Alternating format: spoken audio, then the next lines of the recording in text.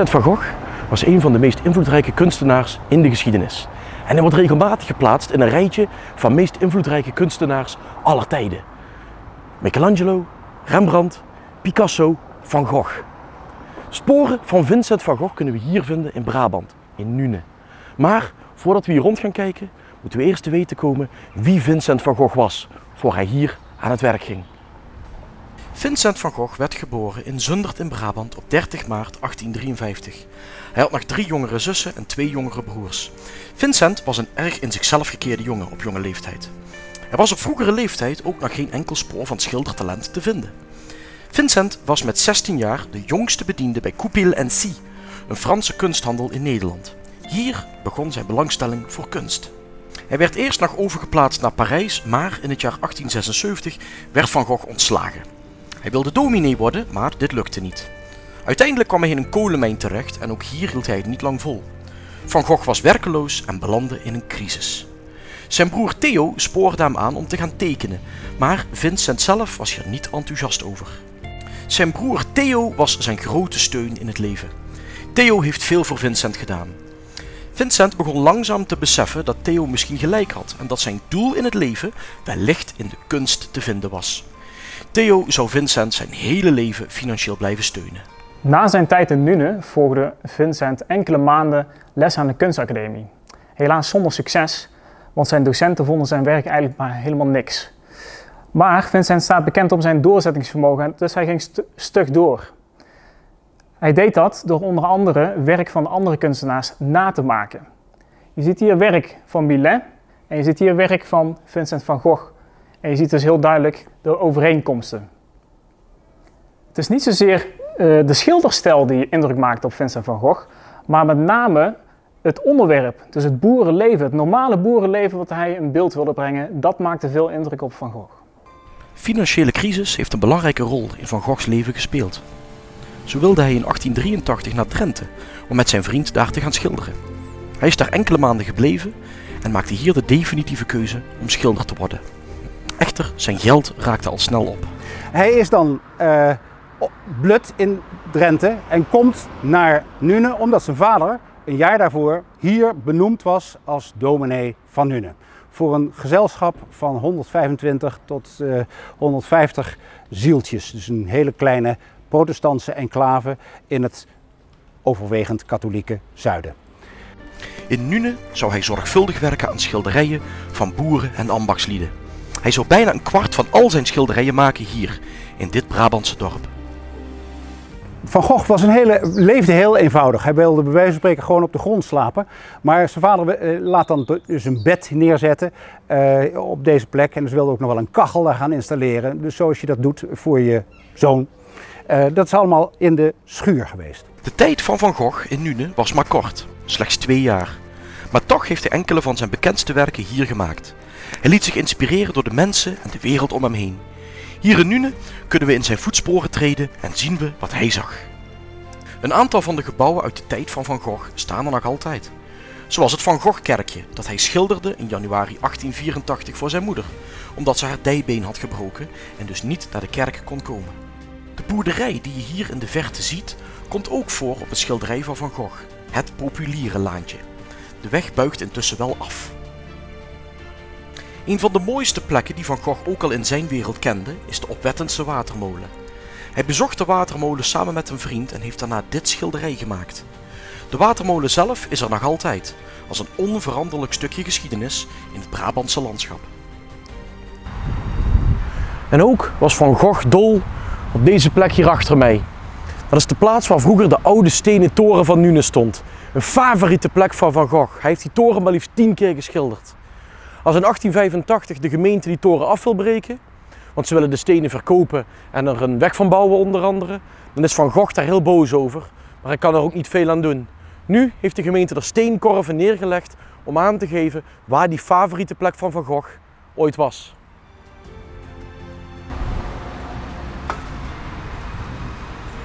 de toren is niet de enige reden dat deze plek bijzonder is. We zijn hier op een klein begraafplaatsje, historische begraafplaats, intussen ingehaald door de woonwijken van Nune. En hier is de grafsteen van de vader van Vincent van Gogh.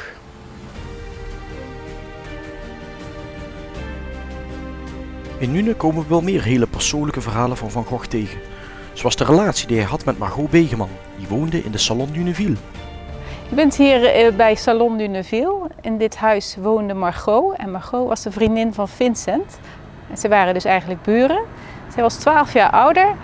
En Vincent die was dus 31 eh, en zij 43 toen zij wat kregen. En na ongeveer vier maanden werd het ontdekt door een nichtje van haar. En die heeft het verteld aan haar ongetrouwde zussen, want hier woonden vier ongetrouwde zussen. Maar die waren not amused, zullen we maar zeggen. Die waren niet erg blij ermee. En toen werd het een beetje een tragische liefdesaffaire. Want de, het huwelijk werd verboden tussen Margot en Vincent. En toen heeft Margot uh, strychnine ingenomen, dat is rattengif, en een zelfmoordpoging gedaan. Margot overleefde deze poging tot zelfmoord en werd naar Utrecht gestuurd. Ze zou nog lang contact houden met Vincent van Gogh en ze kreeg zelfs een aantal schilderijen van hem. Maar een echte relatie, dat zat er niet in. Van Gogh had veel tegenslagen in zijn persoonlijke leven, maar hij zou zijn hele leven heel veel mensen blijven schilderen. In Nune schilderde hij vooral de gewone mensen en de arbeiders. Dat viel niet altijd mee. Een pastoor uit Gerben had zijn kerkgangers zelfs verboden om te poseren voor die rare schilder. Ze vonden hem dus maar een gek manneke. En er is zelfs een naam voor, uh, zoals het overgeleverd is. Ze vonden hem, oh dat schildersmanneke. En dat schildersmanneke, ja, uh, die bij, met een vreemde uitdossing hier door de straat liepen en dan nog met zijn mooie rode haar. Uh, ze vonden hem maar een vreemde, vreemde snuiter. Van Gogh zag hoe de wevers in Nune leefden. Deze kleine zelfstandigen waren vaak nog armer dan de boeren in dit toch al arme gebied. Van Gogh zou in zijn tijd verschillende wevers schilderen. Armoede was een thema in veel van Van Goghs schilderijen. Zo schilderde hij een van zijn bekendste werken hier in Nune, de aardappeleters. Op deze plek stond in Van Goghs tijd het huis van de familie de Groot, die model stonden voor zijn schilderij.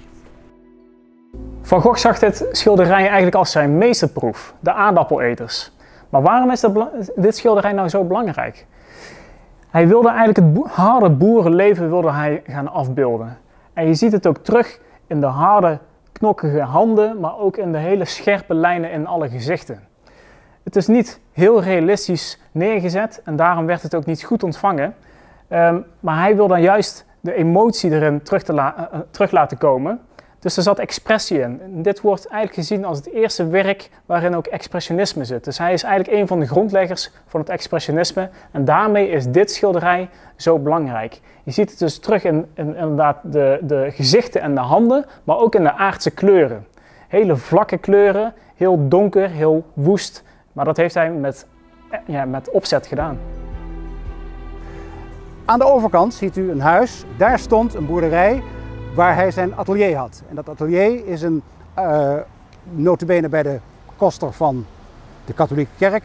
Daar huurde hij voor 75 euro een tweetal kamers en suite. Daar is de aardappeleters gemaakt en wij weten ongelooflijk veel van dit werk omdat hij zelf in zijn brieven zoveel over geschreven heeft. Van Gogh was een groot adept van Rembrandt. En Rembrandt werkte duur woord, clair obscuur. Dus hij had iets donkers nodig en hij had iets lichts nodig. En dat zie je in veel van zijn Rembrandt schilderijen, die dat dan zelf weer van Caravaggio over had genomen. Maar dat licht-donker effect, dat wilde hij krijgen in een boerenschuur. Hij had helemaal geen licht in die boerenschuur. En die arme mensen die hadden helemaal geen lamp. Nou, de lamp heeft hij er dus bij geassembleerd. Van Gogh zou in Nune blijven tot de dood van zijn vader in 1885. Daarna zou hij naar Antwerpen vertrekken en uiteindelijk naar Parijs. In Parijs ging er een wereld voor hem open en hij kwam heel veel bekende kunstenaars tegen. Toen Van Gogh vertrok uit Nune, mocht hij zijn werk opslaan in het gebouw achter mij, de Begeman Weeffabriek. Zijn werk zou pas opnieuw ontdekt worden na zijn dood. In Parijs kwam Van Gogh in uh, contact met kunstenaars die zich bezighielden met impressionisme. En je ziet ook dat hij duidelijk beïnvloed is door het impressionisme. En dat zie je aan de heldere kleuren, lossere penseelstreken. En daar begon hij mee te experimenteren. Maar hij liet zich ook leiden door zijn emoties. Dus soms ging hij veel te ver. En hierin heeft hij dat ook in een van zijn brieven geschreven, dat hij het gevoel had dat hij bij dit schilderij eigenlijk te ver is gegaan. Tegenwoordig is dit een van zijn belangrijkste en meest beroemde kunstwerken, de Sterrennacht. We staan hier bij het Vincent van Gogh fietspad, vlakbij Eindhoven. Hier proberen ze met gekleurde steentjes die s'nachts oplichten hetzelfde gevoel op te wekken als het schilderij Sterrennacht van Vincent van Gogh. En op het schilderij Sterrennacht kun je een klein beetje zien dat Van Gogh al worstelde met geestelijke problemen. Die geestelijke problemen werden veroorzaakt door zijn overmatige werkdrift. Hij probeerde altijd met iets bezig te zijn. En dat bezorgde hem een enorm minderwaardigheidscomplex. Hij vond het nooit genoeg wat hij deed.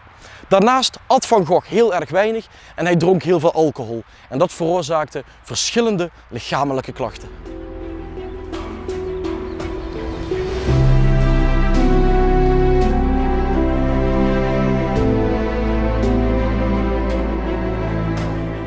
Verder had Van Gogh last van waandenkbeelden en depressie.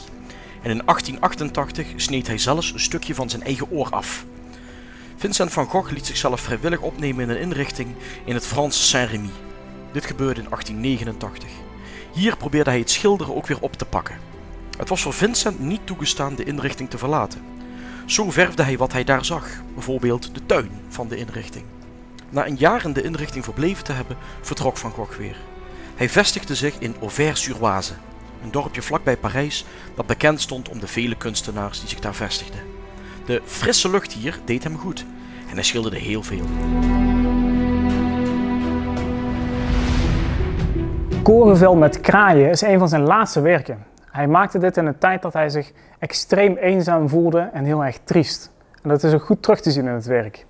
Hele donkere, zware lucht naast een hele fel oranje uh, uh, korenveld. En dat heeft een heel scherp contrast. Hetzelfde geldt voor het rode pad met die groene stroken. En let ook op al die zwarte wegvliegende kraaien. Je voelt hierin heel sterk de emotie. Je ziet het niet alleen in de kleuren en de scherpe, uh, scherpe kleurstelling, maar je ziet het ook in de hele grove streken met veel beweging erin.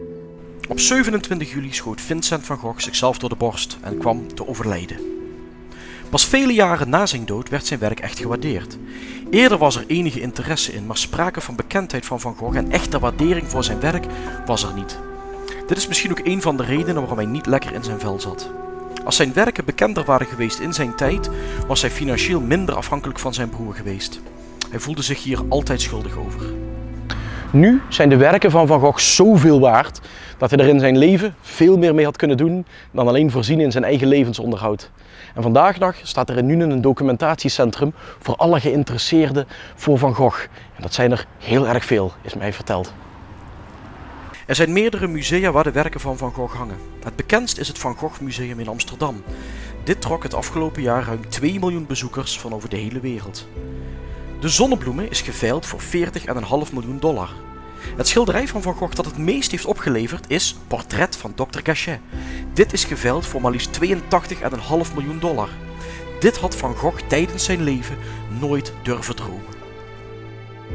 Vincent van Gogh schilderde ruim 900 werken en maakte ruim 1200 tekeningen. Zijn werk is nog steeds aantrekkelijk voor kijkers over de hele wereld. In het begin van zijn tijd maakte hij vooral werk na van andere kunstenaars en daarna begon hij te experimenteren. Vincent van Gogh wordt nog steeds gezien als een van de meest vernieuwende kunstenaars ooit.